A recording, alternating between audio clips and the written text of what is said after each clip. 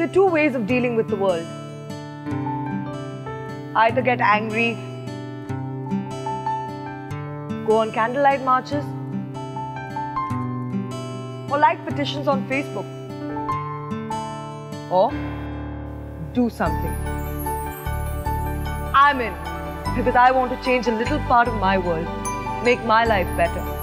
Because I'm informed, I'm involved, I am an Indian.